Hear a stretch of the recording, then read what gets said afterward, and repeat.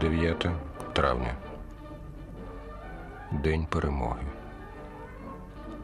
Звучали горді оркестри. Але ні тоді, ні в перші повоєнні роки ще не знали, хто кого оголосить винним. Яка справжня ціна перемоги?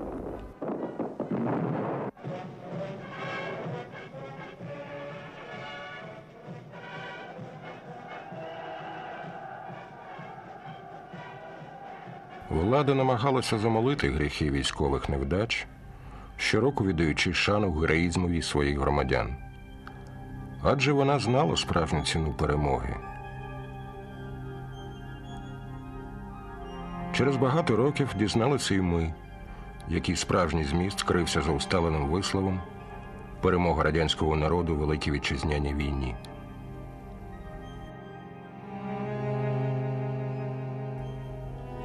Реальна цифра втрат одна з багаторічних таємниць.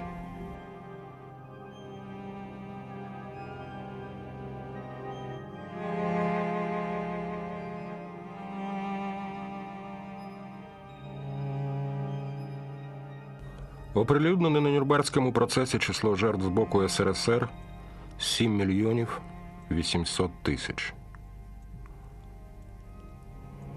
15 років по тому Хрущов у листі до прем'єр-міністра Швеції називає вже 20 мільйонів.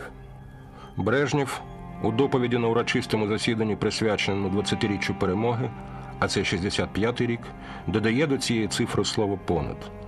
За 20 років Горбачов збільшить кількість жертв ще на 7 мільйонів. Это великая победа. Я участник войны. День Победы – большое дело. Вот. Это все, это вся жизнь в этом. И наших, старых, и молодых. Хороший праздник, веселый праздник. А что еще? праздник нашей, нашей родовой памяти. У всех кто-то погиб, кто-то воевал, кто-то остался инвалидом. То есть как это можно относиться равнодушно? День Побєди. Кого над ким? Над ворогом. Два було ворога. Оба проіграли. Звичайний день. Кому як? Людям вона дала життя. На Заході 9 травня ніколи не святкували. То я можу то сказати від щирої душі. Кому була перемога, перемога у нас була біда. Я мене все добре, що є, то і добре. Прошу.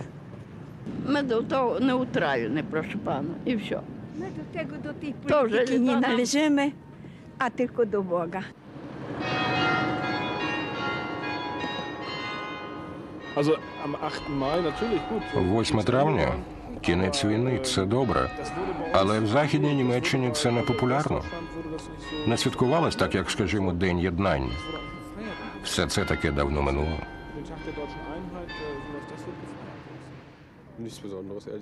Дата закінчення війни. Der 3. Oktober oder Я б сказав нічого особливого. Як на мене, 3 жовтня чи 9 листопада для берлінців набагато важливіше. Я впевнений, про це треба пам'ятати. У німецькій історії є багато дат, про які згадують частіше, але які мають менше значення.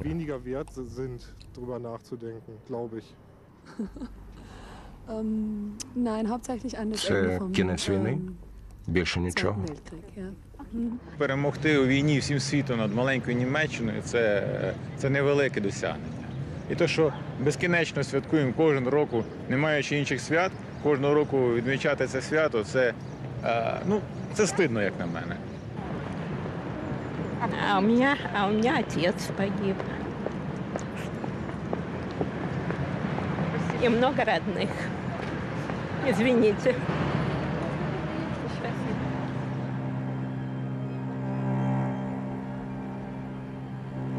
Яка ж реальна ціна перемоги? Точної цифри цих трагічних втрат уже не визначить ніхто. Населення України перед початком війни складало трохи більше 41 мільйона.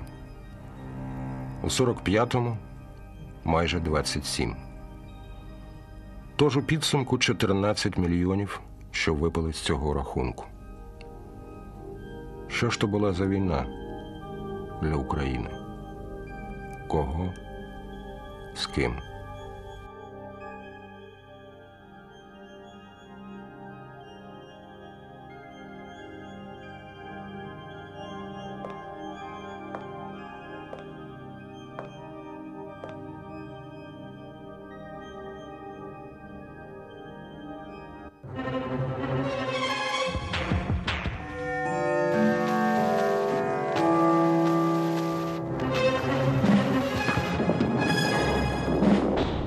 У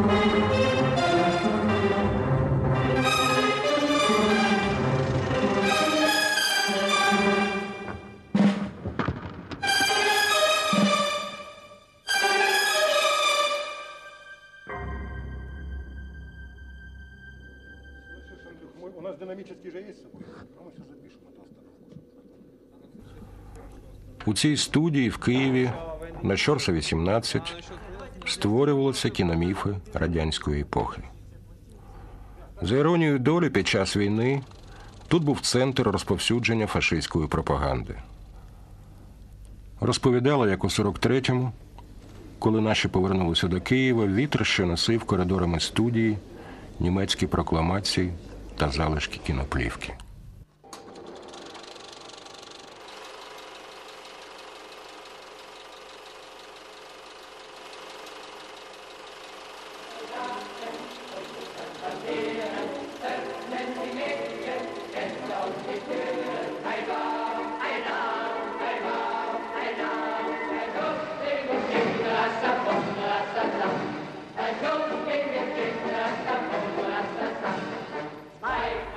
Ішов восьмий день війни. О пів на дев'яту ранку, 30 червня 41-го року, в авангарді першої німецької гірської дивізії входив у Львів український батальйон «Нахтігаль». Основа його вояків українські студенти з Відня, Праги, Кракова та Варшави, учасники одноіменного хору, що у перекладі з німецької означало Соловейко. Командиром Нахтігаля був сотник Роман Шухевич, в Україні відомий під псевдонімом Тарас Чупринка, професійний підпільник, член Організації українських націоналістів ОУН, майбутній командарм Української повстанської армії. Німців зустрічали все ж таки як м, визволителі. Нахтигаль прийшов перший, раненько. Знаєте, як то війшли перші, е, то всі люди ховалися, аж поки не переконалися, що вже таке е, німці в місті. За кілька днів німці послали батальйон на фронт. Проте дійшов він лише до Вінниці, а звідти його відправили до Польщі.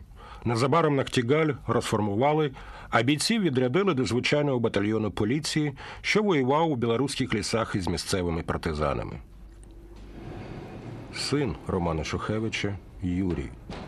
У 46-му юнаком його заарештували і засудили як сина ворога народу. Загалом провів у в'язницях 31 рік. Там втратив зір. Знаєте, що цікаво було мого батька, що він ніколи мене не повчав, як то деякі батьки. Я був так вже вихований, що я знав, що він в організації українських націоналістів, що організація підпільна. Е, Що говорити про його діяльність чи розпитувати не маєш права. Прощаючись, мені подарував свій фінський ніж і сказав: ну, я тобі Юрку дарую, я з тобою прощаюся. Знаєш, на війні, Юрку, всяко буває. Можна і не повернутися.